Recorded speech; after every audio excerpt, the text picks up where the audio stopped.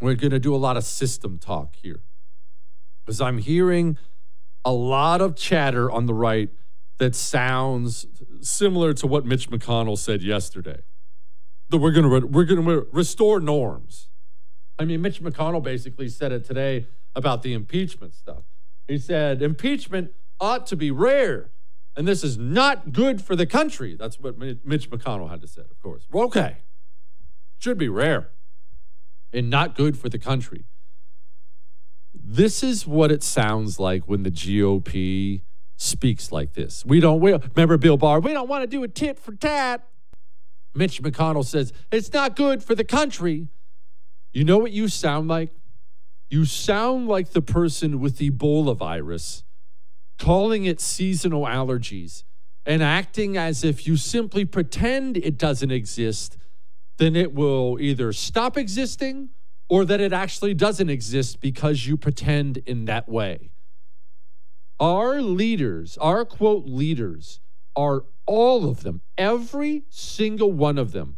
They are so far removed from being anywhere in the vicinity of what it would take to actually save the country. I know this is a little bit heavy and a little bit cynical, but I am it's just it's a fact and everyone needs to know this.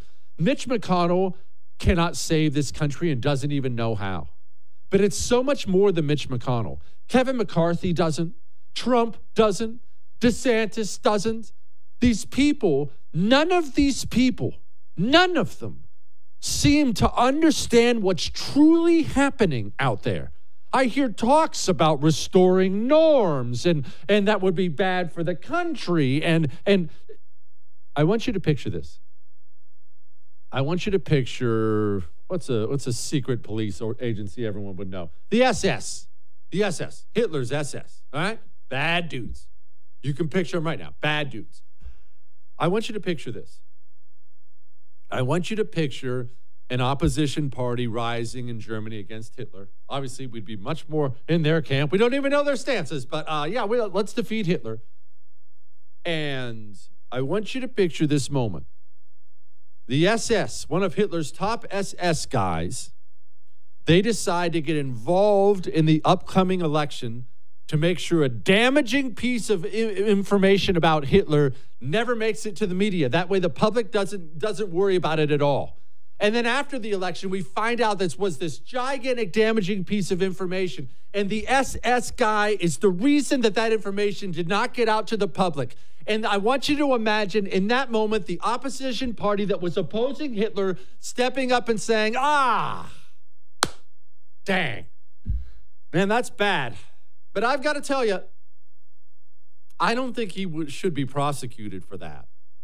That doesn't, that's not good for Germany. How bad would that be if we start arresting and prosecuting SS guys? Wow. I just want to get back to norms. Can I get back to norms, guys? How about some norms for me? I can't take this anymore. The Federal Bureau of Investigation and I can name names. I'm about to name one. Elvis Chan is his name. He was the FBI agent who coordinated everything when it came to blocking the Hunter Biden laptop story from being seen by many people. He did that because he's a Democrat donor, he's a communist activist. So he was given this position, this lofty position of responsibility at the Federal Bureau of Investigation. And as part of our secret police agency, he chose to get involved to electioneer on behalf of Joe Biden. He ran a protection operation for the Biden family so Joe Biden could win the presidency.